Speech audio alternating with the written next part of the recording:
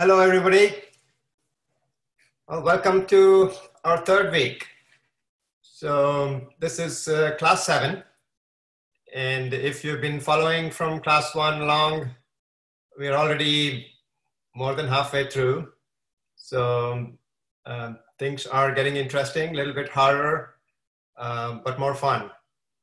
So we'll continue on from uh, last time, trying to see if we can cover some generative models and generative neural networks, what they are, what they do, what they can do. And um, let's uh, get right to it. So I think we are at 10.01, so there may be one more minute for other people to join in. So um, if you have any questions from last time or anything else, um, you can answer, ask them in the Q&A section. Um, you can use the chat for um, talking or helping other people around if uh, they need some help.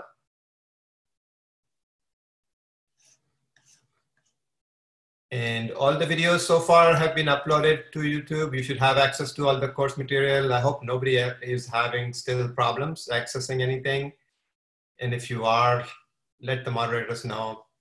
And you should have full access to everything we have covered so far.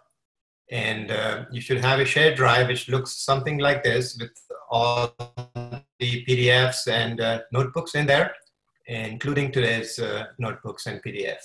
So you can follow along using these, or you can follow along with me as I cover uh, each of these step by step.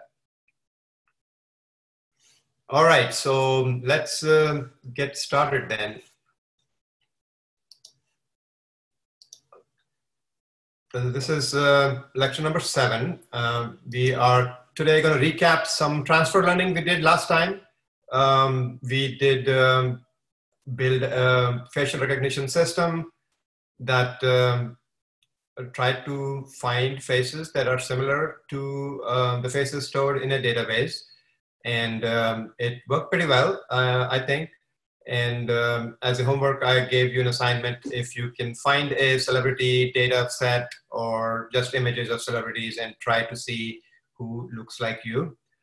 Um, and we'll cover some of that, like how to do that uh, in an easier way so you don't have to download uh, from the web uh, celebrity pictures. Uh, you can use a predefined data set that is already there.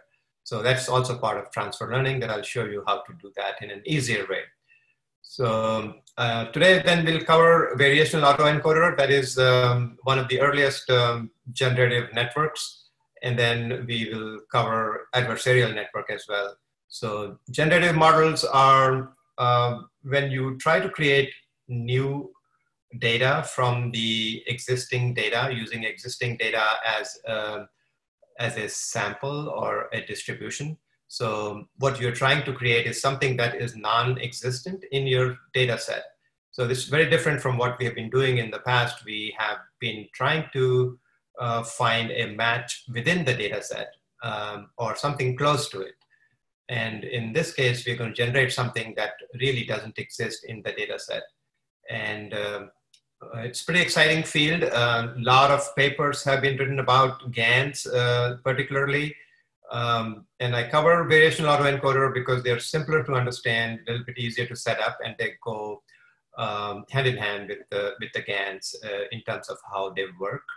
Um, but uh, GANs themselves, they are probably hundreds of papers written about GANs, and there are different kinds that people give them different names, but they work on the same principle and we'll cover those principles. So uh, let's answer some questions that came in from last time. So um, one of them was how can we tweak the weights uh, in the MTCNN model? So the version that we downloaded uh, using pip install uh, for MTCNN, it comes with predefined weights. So it's already been trained. Uh, we don't want to tweak them um, because it has been trained on a lot of data and that's exactly why we're using it so that we don't have to train it. So by tweaking the weights, you may alter um, the training. So you probably don't want to do that in any case. So one thing you can do is instead of uh, using the weights that came with, you can throw those away and then just use the model part uh, to train your own data set. So you can do that, but uh, don't try to tweak the weights themselves. Um, next question is about um, um, rotation in the face. So, um, so MTCNN does have problem if you rotate the face a lot because it has not been trained on uh, that kind of rotation. So usually because we are trying to recognize faces, um, it doesn't make sense to have rotated faces. You rather rotate the data set to fix the problem rather than rotate, um, try to also take into account rotated faces. So what you do want to take into account is uh, somewhat of a profile pose, uh, different lighting conditions, uh, different um, maybe aging, uh, like some one picture is from an older version of you. So all those things are taken into account by training with a lot of data set. Um, but uh, trying to fix the rotation problem, it, it's better fixed in the data than in the model.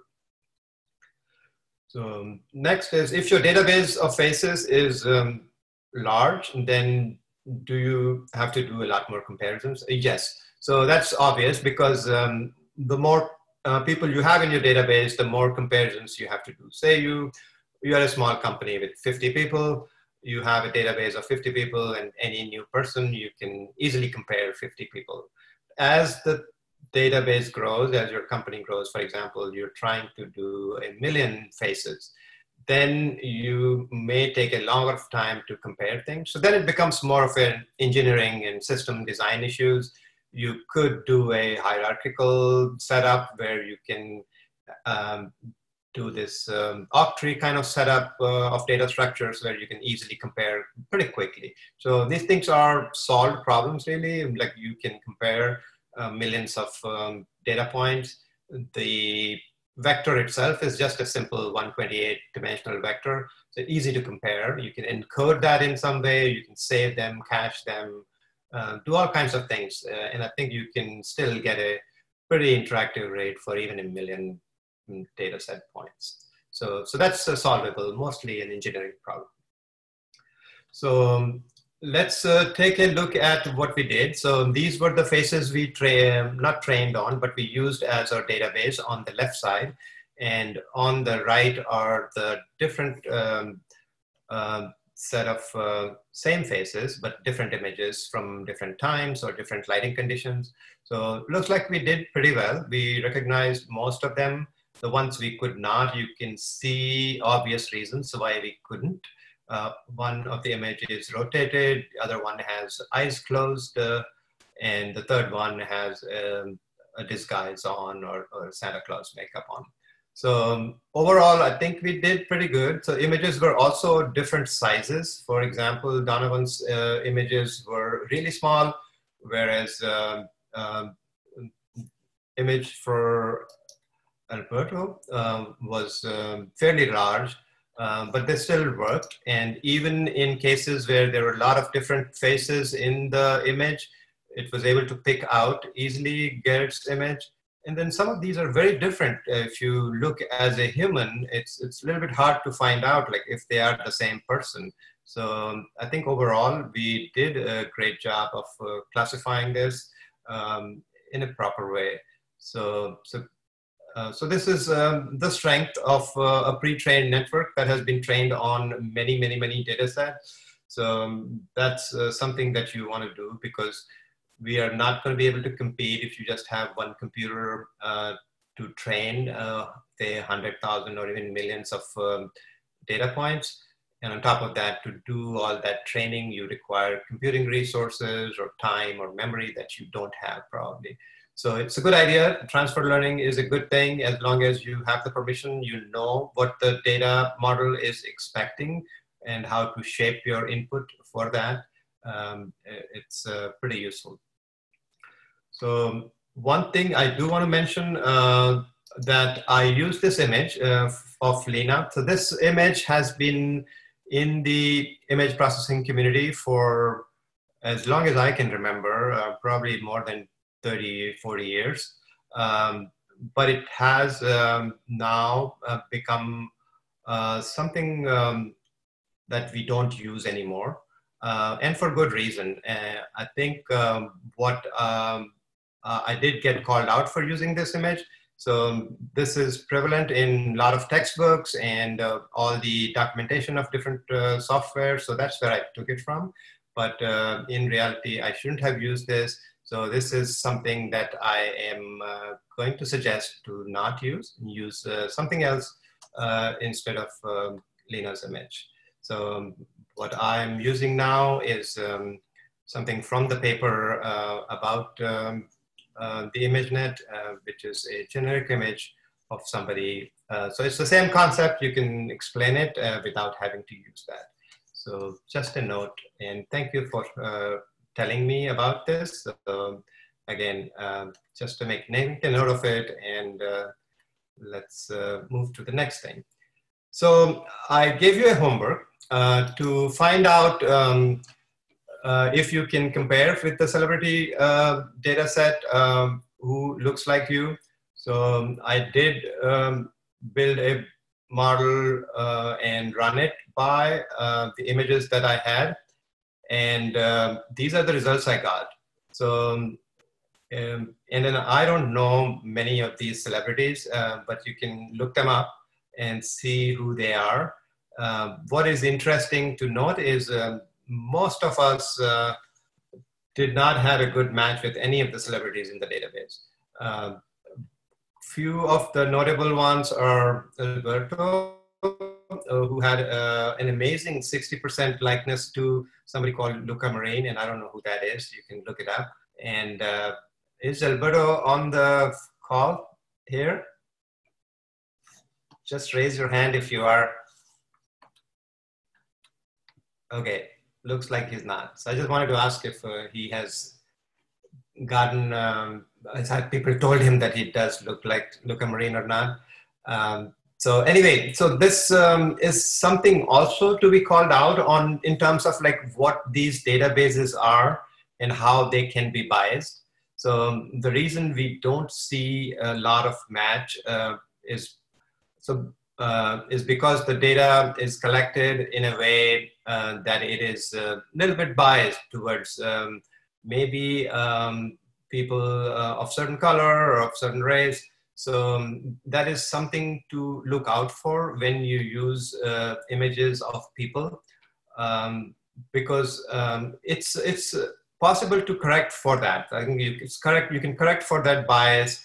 Um, people get lazy and they use existing data sets and it kind of spreads out this bias all over. So, so when you use uh, images of people, you want to be mindful of like what are you presenting, what are you, uh, what is uh, the bias in your data, and are you exposing that in some way um, where uh, it's not representative of the general society.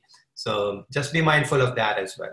So let's take a look at how uh, I did this. And uh, if you got a chance to do the homework uh, or not, just uh, you can follow along with what I did. So this is the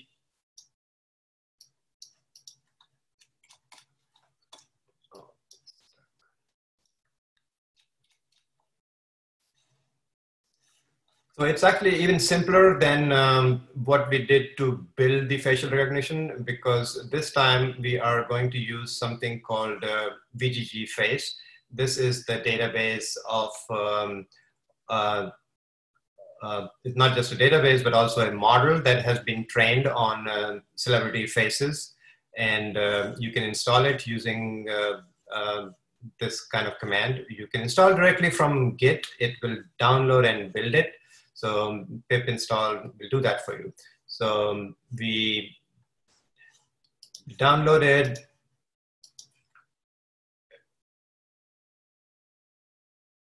let me get a little bit of a summary of uh, what this database is. And we also do MTCNN um, because we can first find out the facial regions and then we can uh, do the matching. So, um,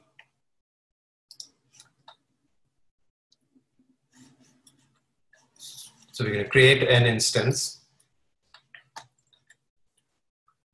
So I'm not going to run this whole thing um, because it requires mounting the drive and not everything. So I want to avoid that uh, today. So we do the same thing. We have the database of faces, um, and then we can show all these faces um, uh, as they exist, like we did last time. So what we are doing here is we are calling VGG match. So VGG match is similar to um, to the model that we used last time, which is the MTCNN, uh, except it uh, gives us um, um, an output that is an encoding of, of uh, celebrity faces. So um, then we can find out how much distance away we are from the celebrity faces, and each of those would give us an answer. So um, all we need to do is then uh, take a face and then try to predict it and it will give you a prediction which is uh, uh, an output that we can use to compare. So um, it also, um, the software has this uh, uh, method called decode predictions, which you can uh, call and it will give you um, basically top five matches and you can write that as a percentage. So that's all you have to do. And uh, for each of those, I got these results. Um, and so easy to do. It does a lot of things behind the scenes. Uh, it has already been pre-trained on um, maybe 10,000 celebrities or so.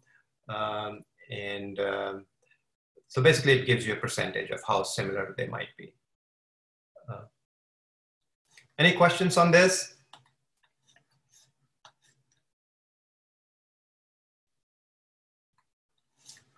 Wait for some questions.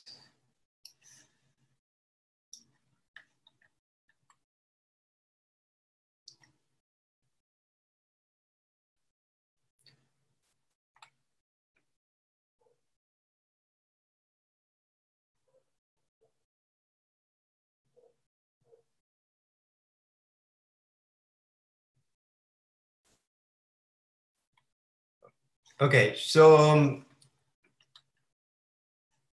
I'm going to answer one of the questions here. Can um, so this is about like um, are there any other resources to learn about TensorFlow or Keras? So um, most of the documentation is online. So if you just go to tensorflow.org, you should be able to uh, see the documentation itself. But um, uh, and they also have some tutorials. There are tutorials online as well. And um, I think um, by the end of the last class, I should be able to compile all the resources that you want or need. So um, keep uh, asking for them. And then I'm uh, in the process of compiling a list and I'll send those out so that you can keep learning uh, more things. Um, another question about uh, can FaceNet or Keras be leveraged to identify pet faces? Um, so that's, um, that's a good question. So can something trained on humans work for uh, animals? Um, that is something uh, you can try and see. You can just upload an image of a pet into different um, poses and see if they if if the um, model works. If not, then you would have to train. So uh, training um, is um, means you have to acquire a lot of data and uh, animals uh, again differ uh, in similar ways as humans differ. There are maybe you may be able to pick up additional things like ears that may be uh, more visible for uh, the dogs. So so you may have to train again. Uh, you may not be able to use um, FaceNet directly, but you can use that model but train on different data sets.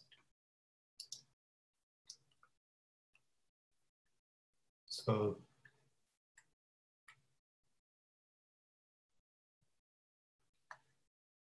another question is about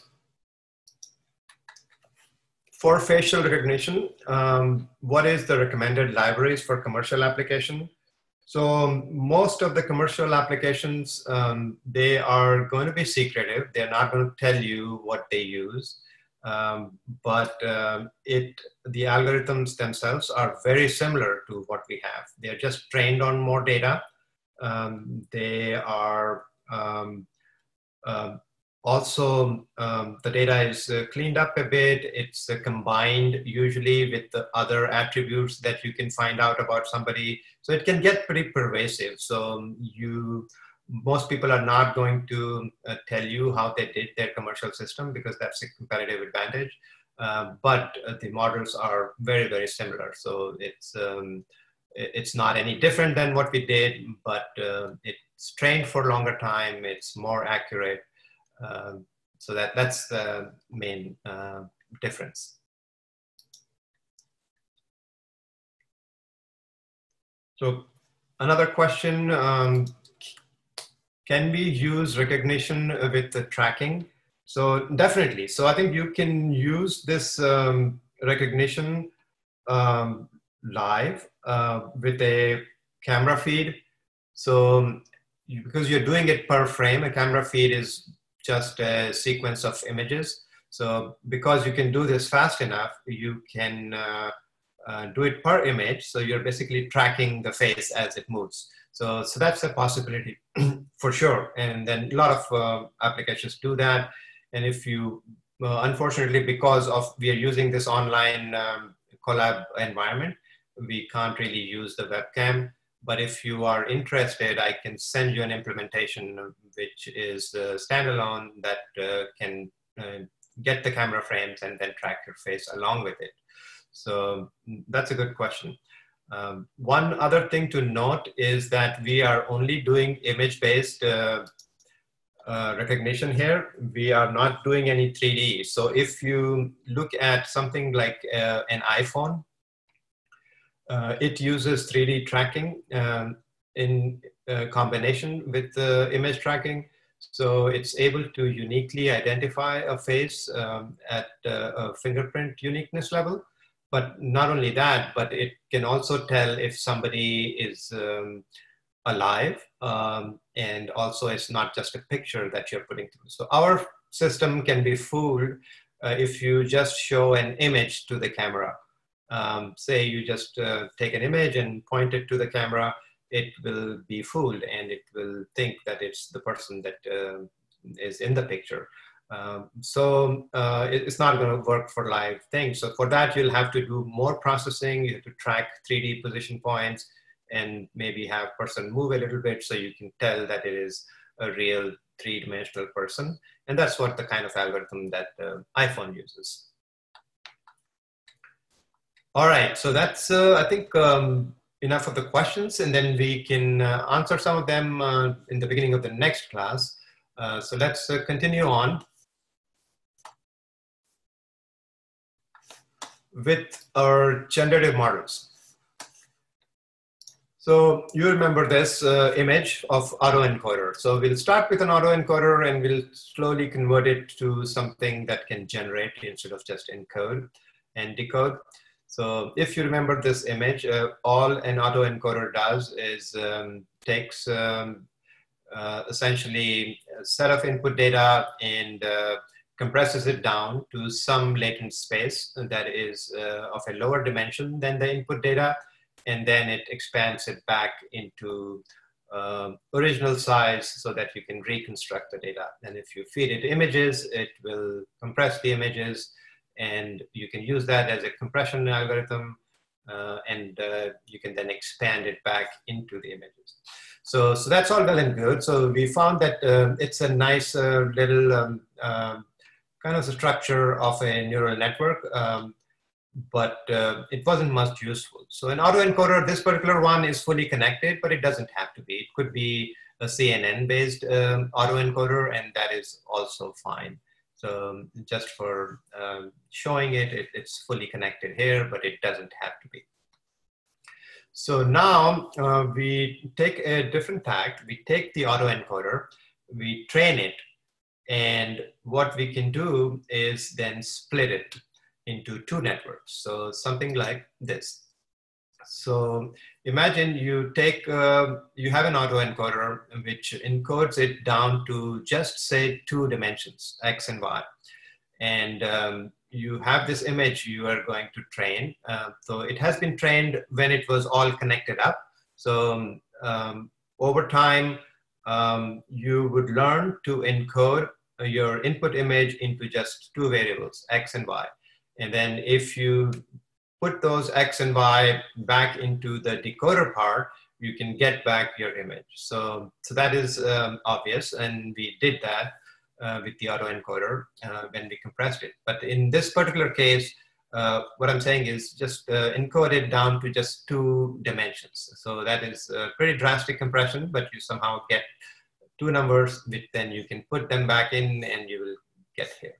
So now um, the reason it worked is because we talked about this um, uh, distributions where the original um, set of data for four, this came from this kind of distribution where this is, um, this point here is uh, the particular input and all things that are similar to four, they're along this distribution somewhere in here with different probabilities of in this distribution.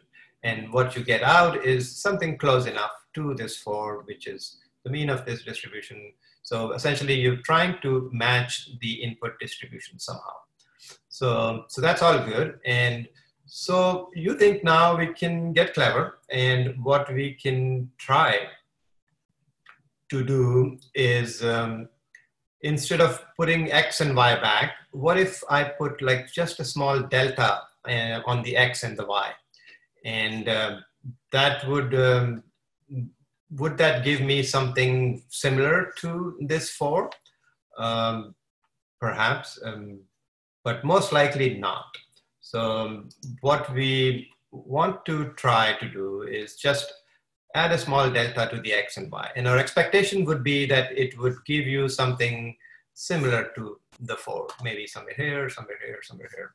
Uh, in practice or in reality, uh, it's not uh, going to happen because um, the distribution of x and y is very different from the input distribution. So a small jump in here may cause a big jump in here. So what you get out is probably not even going to be close to what the input was. So um, everybody get this because it's an important concept. You can't just create a delta on this input uh, on this output of the encoder and expect to get something similar. So So what we can uh, do instead, so as I said, the latent space and the input distribution are different, so it's not going to match. So one thing we can try is we can treat the output. So we have these two output X and Y. If we treat them as the mean and the variance of a distribution, uh, then we can try to see if we um, we can match the distribution of the input. So, so then the idea in the variational autoencoder is that you treat the output as mu and sigma, and then you sample from that mu and sigma. And now basically what you're saying is that mu and sigma of this distribution is what you're approximating and you can sample from this distribution, which means you're gonna get a random sample within this distribution, which is gonna be close to here. So that would give you the expected output that is very close to the input. So, so that's the main idea behind variational autoencoder is that you are trying to approximate the input distribution uh, and then sample from that distribution to generate new models. So once you can sample from this distribution, um, you can use any value of mu and sigma and find out the sample and then use that to get the output you want. So everybody get that? So this is one of the most important concepts in, um, in machine learning in general that you want to think of things in terms of distributions and what you're trying to do is match the input distribution as closely as possible through training. So in, in practice, and this could be, and this would be um, like a array of things. And so in X and Y, there'll be like two sets of mu's and sigmas uh, because X and Y, for images, it's X and Y. So you can have multiple dimensions of these. Um, so it's hard to visualize, uh, but um, mu and sigma, they, they are uh, basically representing not just, so this is a simple way to show the distribution, but in practice, the distributions are multidimensional. So um, it, it's, uh, it's hard to visualize it, but you get the idea. So I'm showing to you in, in one dimension, but usually uh, your distribution can be multidimensional as well. So, so again, this is uh, one of the most important concepts. And if you get this, um, rest of the things become much easier to understand. You can think of entire universe as some set of distributions where you plug things and things that are similar to each other are in the same distribution and you can mix and match different distributions. So if you begin to think like that, um, then um, a lot of the machine learning uh, papers are easier to read uh, because they all talk in these terms. Uh, so we'll go through one of the papers towards the end to see how to go about analyzing a paper, reading it, see if you want to use it or implement it. So they'll talk in this kind of language or vocabulary. So I want you to be comfortable with this, uh, but all we are doing is trying to find out what this distribution of the input is and then try to closely match it uh, as much as possible. So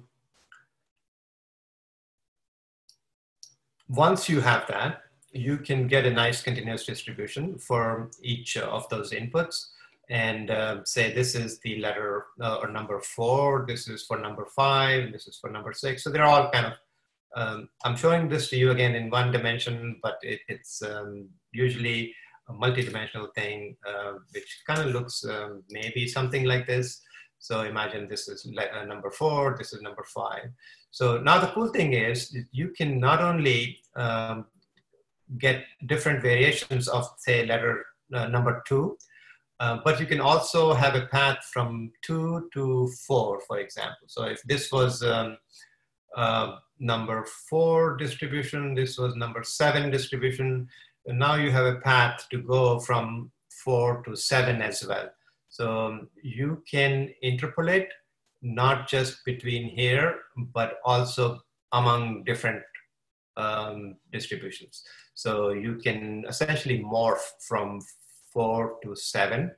Uh, but not only that, but you can have some mixture between four, seven, six, and eight that you can generate a letter or number that is some combination of all of those. So when you see images um, like the celebrity database where things are being combined uh, to form new uh, kind of faces that don't exist um, anywhere in this universe. So what they're doing is they're taking two faces and they are essentially finding their distributions and interpolating between those distributions. So you can go from somebody with glasses to somebody without glasses, blonde hair versus black hair. And then not only that, but you can combine all of those four uh, different personalities into one by um, simultaneously interpolating um, in, um, among those four things. So the, the main thing here to get is that uh, you're um, finding things that are close to each other, uh, what these distributions look like, um, there is um, there's a cool way to see these. So this website called projector.tensorflow.org um, that kind of shows you the embedding. Um, it's a good way to visualize what these distributions might look like. It's not exactly those distributions, but um, let's take a look at that. So this is um, our flower database that we did uh, with the iris flowers where we tried to classify them. So this, um, you can use a color map like we did. Um, so again, we looked at this in two dimension with the Seaborn package, but you can now look at this in three dimensions. So, so this particular um, uh, embedding projector uh, essentially projects everything into a three-dimensional space. So it, it's a little bit nicer to look at and uh, you can see where all the different classes are in three dimensions. And um, this is, uh, we can find our favorite data set, which is the MNIST.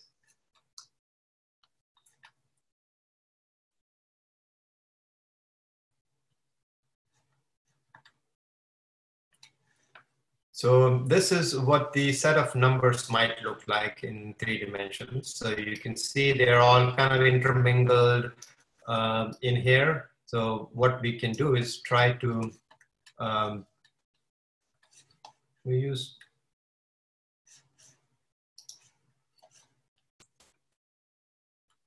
so there's something called TSNE, which is um, uh, a technique to kind of visualize the embeddings. And um, it gives you uh, a way to see what would happen if uh, if your data um, is mapped in a way where uh, similar things are together. So um, it's uh, doing that live as we speak. It's trying to move the data that is similar, um, essentially the distributions uh, for each of those um, digits. as you can see, start becoming clustered around that.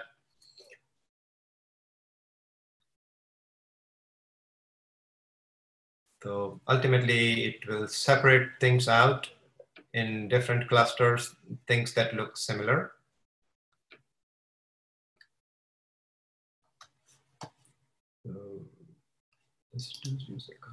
So I'm going to pause this. It's progressed enough.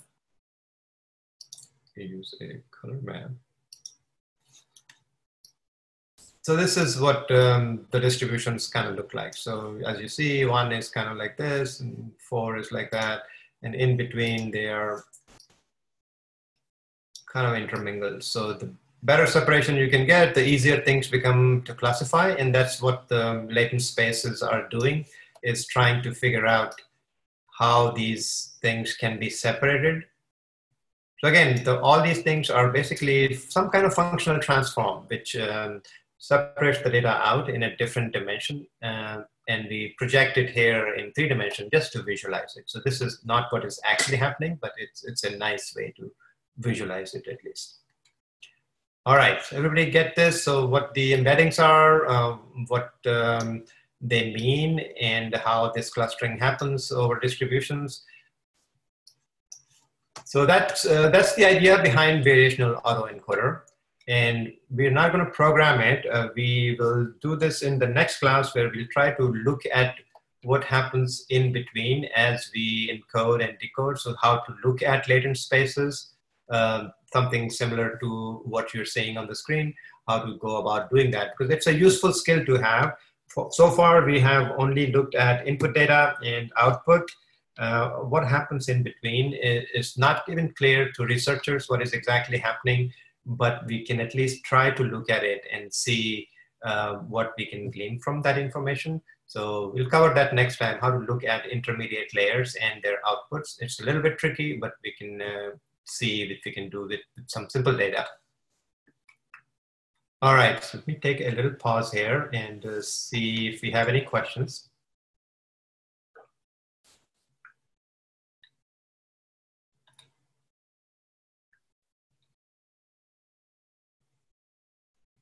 All right. So I'm going to answer Martin's question about um, how do we know which output is the mean and which one is the standard deviation? So the cool thing is that we don't care. We just designate one as the other. It's how you use it um, is what will force it to train it that way. It is similar to how the output, we are not saying which one is the leftmost pixel, which one is the rightmost pixel. It is um, only because of the way we treat the output is how it gets trained that way. So, so that's the beauty of, um, of the network, um, that it will learn whatever we feed back. So remember, there is a feedback that is happening with the back propagation, depending on how you treat the loss or the output. So if you're not satisfied with the output, um, the weight or the loss is going to be high. So the weight adjustment is going to happen. Ultimately, the the in or output that you designated as mu and one you designated as sigma, they will become that. So uh, that's uh, something um, people trip over. It's like, how do you know which one is which?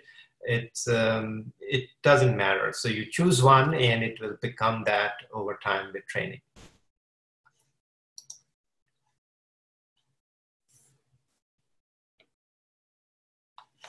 So I am going to mark as answered Bobby's question as well. So it's uh, exactly the same question with an answer really.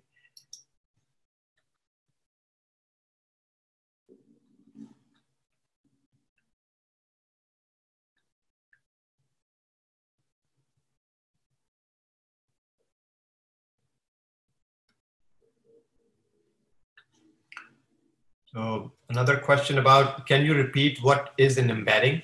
So embedding is, um, is basically the latent space. So, which means you have taken um, a dense input of multiple dimensions and embedded it into a different space or a latent space. And that latent space can be smaller or larger, it doesn't matter. But essentially you have embedded it into a different space. So that's what an embedding is.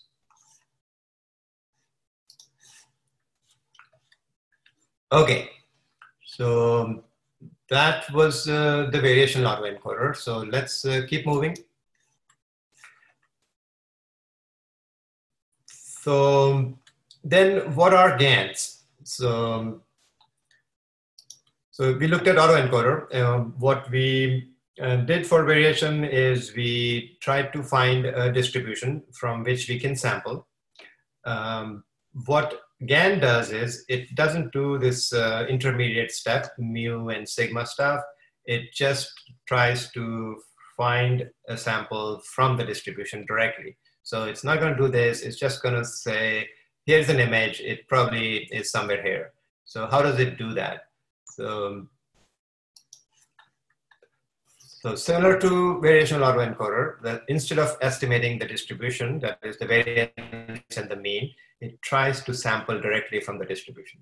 So the way it does it is it first thing it does is just gives a noise image. So random noise gives it to the network and says, hey, this is an image from your distribution. And the network says, no, it's not because I don't know this thing.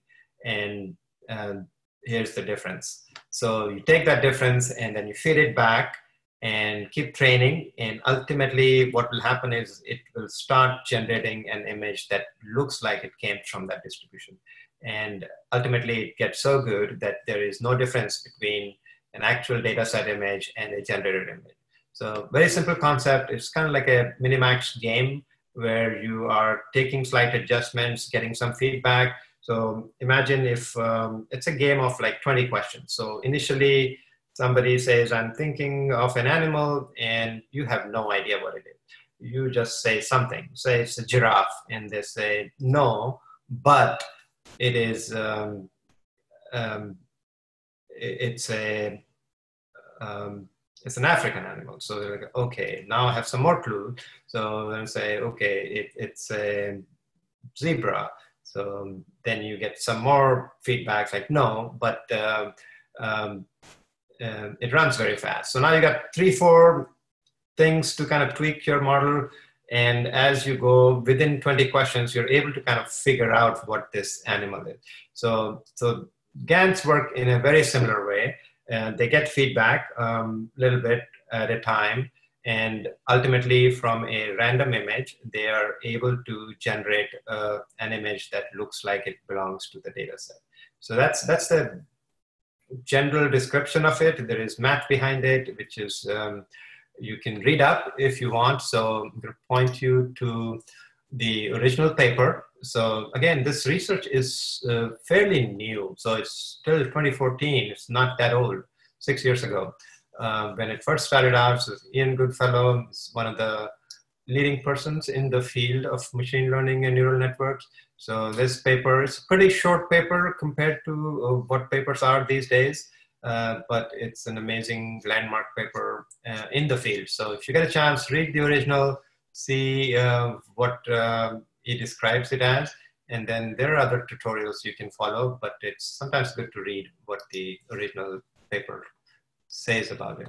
Similarly, there's a paper about um, um, variational autoencoders, also from the original authors, uh, Kingma and Welling. So this was also a landmark paper, um, but they rewrote an introduction that covered the um, covered the trends in the field. So this is also a very good uh, article. It's not really a paper; it's more of a summary. So if you want to read more, get to the math behind all of this, so you can uh, read up on it. And I'll send out these links after the class as well. Um, the, again, the variational autoencoder and this uh, landmark paper on GANs. So so it's easy to describe. Uh, now that you know what it does, it takes a random image and tries to uh, figure out uh, what it might be. So if you look at it a little bit more mathematically, and this is from the um, one of the Ian Goodfellow's talks uh, at one of the conferences. So think of um, both the discriminator um, and uh, the generator as um, functions. So the generator G is in the right side and the uh, discriminator D is on the left side. So um, what you're going to do is um, uh, first we'll cover the generator because it's uh, it's longer but it's easier to uh, describe. So you can take some noise and um, uh, it's a function. Um, you're going to sample uh, from some random noise and basically generate something. And once you generate that, you're going to put it through some kind of a discriminator, or things that uh, tell you whether it belongs to the data set or not. So uh, if uh, it belongs to the data set, it will uh, answer one, or if doesn't, it uh, will answer zero. So the goal is to make it as close to the actual data set as possible. And um, the differentiator or the discriminator is um, in turn, all it is is a classifier. It uh, tries to see if, um, if the data belongs to the input data set or not. Or that's all it does. So it's just a zero or a one.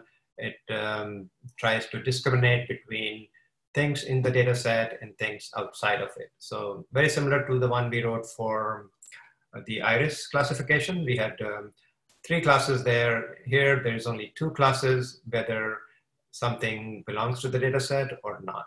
So together, these work in harmony and uh, try to um, figure out. So if you look at this, them as functions, this is what is happening. But uh, how do you put together a network using that? So um, let's look at that. So we have a discriminator and a generator. So again, these are just neural networks. So to the discriminator, you are going to feed real images uh, or real data. Um, and um, all the discriminator is going to do is try to tell you if, uh, if the image that you fed it belongs in the real data set or not. And um, it's going to have some loss and then it's going to update it. So discriminator is going to get better at differentiating between real and fake images. Generator, on the other hand, is going to take noise as input and um, it's uh, going to generate an image. And that you can feed it to the discriminator. And after from that, you get some loss, which is the generator loss, and then you feed it back. So that also gets better over time. So um, as things go along. Um, generator gets much better at generating images that kind of look like real images, and discriminator also gets better over time, but then the generator catches up to it, and at some point it will not be able to distinguish between real images and fake images. And that's the time you think your network has stabilized and you have learned. So then you can stop everything and then you can start generating new images as you want. So that's the idea. And um, this description here is how to set it up. So just to um, describe it more verbosely, so let's say our goal is to generate random unseen cat images. And we have with us uh, a data set that is uh, of cat images. So step one is we need a classifier that basically just classifies whether cat or not. So that is our discriminator and um, the generator generates a random image from noise. And as we go along, we can hook them up together and uh, we have random unseen cat image. So easier said than done. So let's look at how exactly this is done. So open up this file if you have it or just follow along with me. So there's going to be a lot of code here. So I'm not going to go over line by line on this, but I'm just going to cover uh, the main uh, points here. And what I want you to do as a homework is to kind of go through and make sure you understand all that is going on here, because there's a lot. And um, um, if you don't understand anything, um, ask me next time, and then we can go over those points. So a lot of it is uh, API stuff, which is um, just quirks of the API. Uh, there are crucial things that I will cover. Um, and let's see how this works. So one thing to note about uh, GANs are they took a long time to run. So um, I am, again, I want to run this with the nice looking images that uh, have some meaningful application, but because it takes so long, we'll have to resort to using uh, black and white 28 by 28 MNIST database. Uh, but um, again, only because we want to do this in the class um, live. So most of these things, uh, if you look at the recent NVIDIA papers, with all their resources and GPUs, they still train for weeks at a time. So you know, take the images, um, MNIST database, we can normalize this. So some things should be like really quick for you to understand now what we're doing here. If you see something like this, 25, this is the mean, you divide them, just normalize the images quickly, you get the sizes, and make your data set. So this is the generator. So generator essentially takes noise and um, makes it into image. So we, we don't want to do it in one step. We want to have enough weights around so things kind of uh, uh, have time to learn and weights are distributed nicely. So you just don't want a single node that uh, generates uh, noise. So you want some learning ability there with lots of weights. So we're going to create some uh, simple network. So this is uh, uh, con T2D transpose is the opposite of a convolution layer. And so we're going to use that. So um, we start with noise and we create a lot of nodes here, which is a dense network um, that uh, connects to the noise. And again, don't worry about the batch normalization. So leaky RELU is just another form of RELU. So don't worry about that too much yet. So, so we do basically create a dense layer, that is the first layer, with a lot of different nodes. And then we reshape that into this shape. And then we do this opposite of a convolution um, with uh, as if mm, this output came from a convolution that is of this filter size and that many filters and uh, again reshape that. So you keep doing a few of the uh, upsampling or con2D transpose until you get to the shape that you want, which is 28 by 28. So essentially you've taken um, some noise, which is 100 vectors of noise, and then done some transformation, created a nice little network that ultimately uh, gives you uh, an image shape. So then we um, basically there's a function to build the generator model, and we did that, and we have this noise uh, that we take in 100 noise numbers, and we create an image. So let's see what this looks like. It should look like um, no, run this. Big generator is not defined.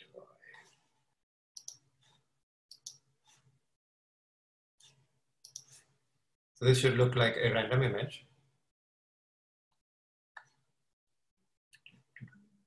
There you go. And discriminator is uh, exactly like our uh, classifier that we did for flower, except this is um, a convolution instead of a fully connected network. So we got um, two convolution layers and uh, again, don't worry about the leaky RELU. It's exactly like the RELU, a little bit different. And this dropout is used uh, where 30% of the nodes are dropped. Uh, this is an efficiency thing. Um, again, you can live without it. It just takes longer. So we did some con convolution and ultimately we have a dense uh, connection in the final layer and one output, whether um, this image belongs to the data set or not. So that is the um, output of our discriminator. So uh, do the sanity check on the discriminator, it should output some random number, which is fine. Um, so then we do the losses, which is a binary cross entropy because we are doing classification.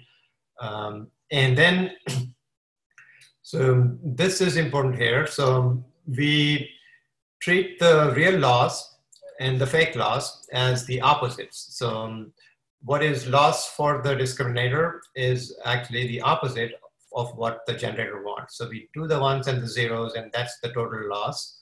Um, and for the generator, uh, it is the opposite of the, um, because generator is essentially the fake part. So the fake part here was zeros. For the generator, it's going to be the opposite because you want the generator to succeed. Um, and in the discriminator, it's going to, we want the generator to fail. So they're going to be opposite of each other.